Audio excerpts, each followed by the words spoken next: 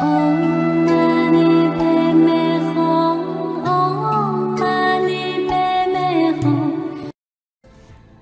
giả quả thuấn. Có câu Người đại ác quay đầu là đại thiện. Người đại thiện mà đọa lạc Tức cũng như đại ác.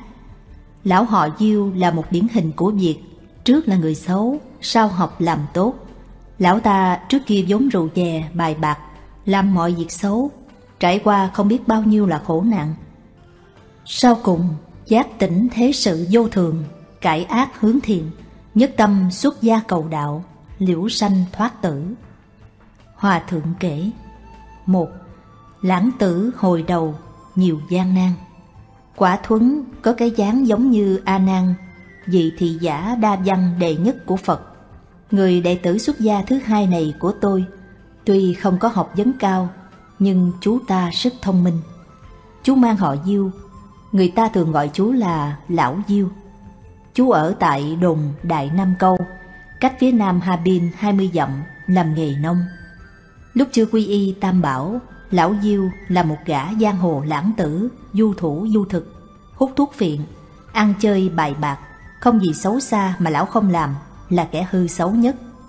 Lúc bấy giờ, Nhật Bản thống trị Đông Bắc, lợi dụng triều thanh phế vua tuyên thống, thành lập nước Mãn Châu để làm bù nhìn cho Nhật Bổn.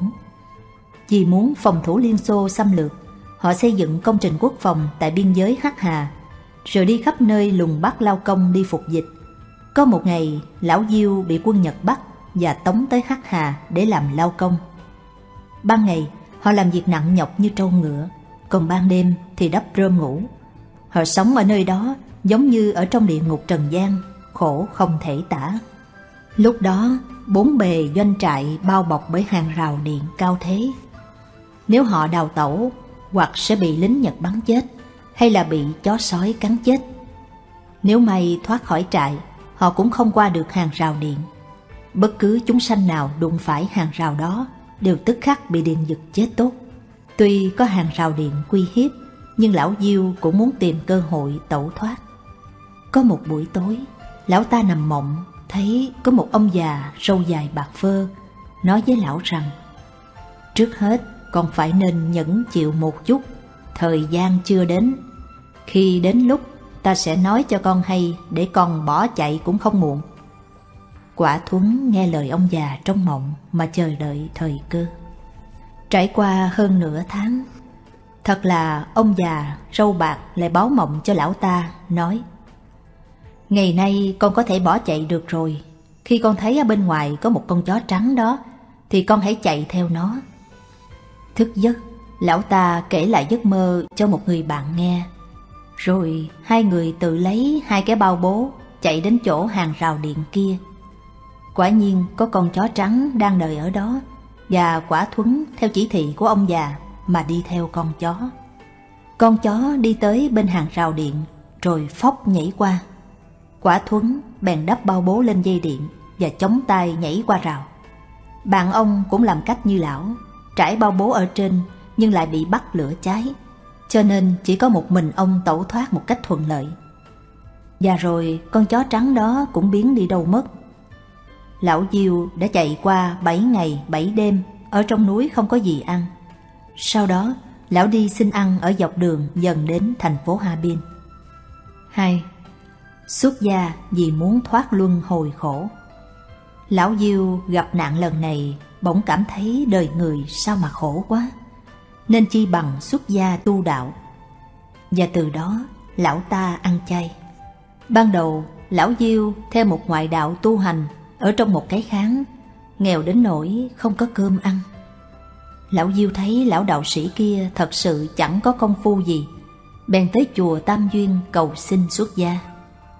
Hòa thượng phương trượng không thâu nạp lão, vì thế lão ta ăn mặc rách rưới, tưởng là vì sanh sống khó khăn nên mới xuất gia. Hơn nữa, lão Diêu này cũng không biết cách nói chuyện. Vào mùa đông năm dân quốc thứ 33 năm 1944, tôi tới đồn Đại Nam Câu chữa bệnh cho mẹ của Cao Đức Phúc. Tôi trì tụng thần chú.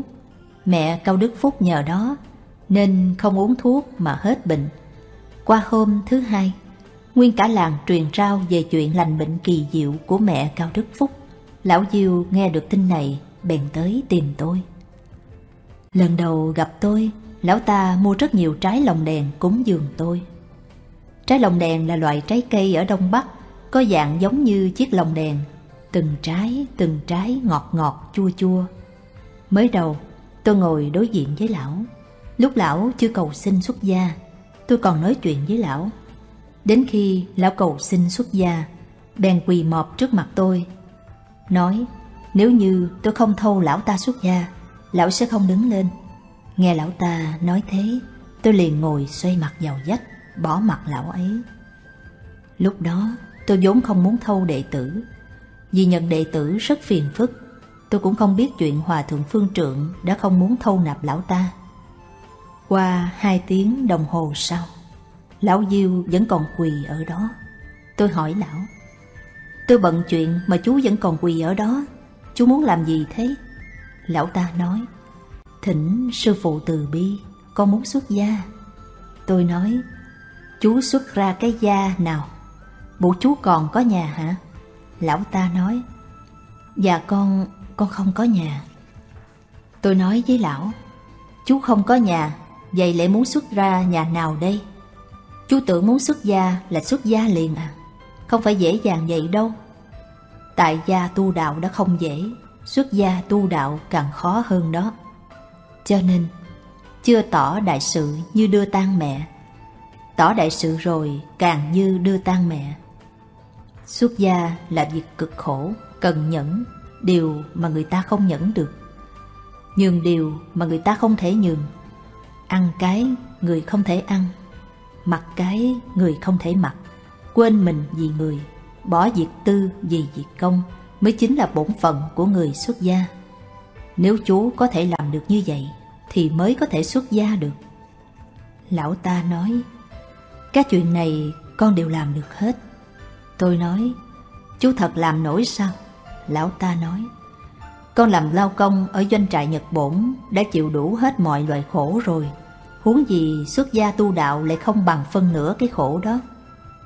Cho nên dù có khổ sở gì chăng nữa, con cũng có thể chịu được. Tôi nói, vậy thì tốt, tôi nhận cho chú xuất gia đó. Chú nhớ buông bỏ hết mọi việc lúc trước, giống như một người vừa mới sống trở lại thì mới được. Lúc đó tôi làm bài kệ cho lão rằng Niệm niệm mạc dông sanh tử khổ Tâm tâm tưởng thoát luân hồi quyển Hư không phấn toái minh Phật tánh, Không thể thoát lạc kiến bổn nguyên. Nghĩa là, Niệm niệm chẳng quên khổ sanh tử, Tâm tâm mong thoát cảnh luân hồi, Phá vỡ hư không thấy Phật tánh, Buông xả tất cả ngộ bổn lai. Tôi là chỉ dạy lão ta. Hiện là thời đại mặt Pháp, Nhiều người xuất gia nhưng ít thực hành, Tin Phật thì nhiều nhưng thành đạo thì rất ít. Chú đã thành tâm muốn xuất gia Tất phải phát bồ đề tâm Lập định chí nguyện quảng đại. Chú phải làm như ngọn nến trước cơn gió táp Vàng rồng đốt trong lửa đỏ. Ngày nào đạo nghiệp viên thành Chói sáng Phật giáo Tức không cô phụ tâm xuất gia. Sau đó tôi dẫn lão Diêu đến chùa Tam Duyên xuất gia làm sa di, có pháp danh là Quả Thuấn.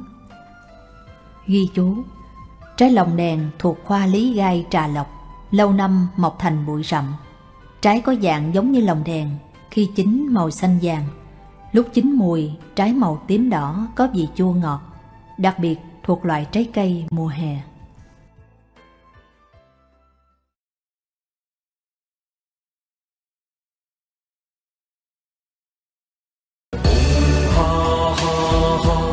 Sam Mô Ni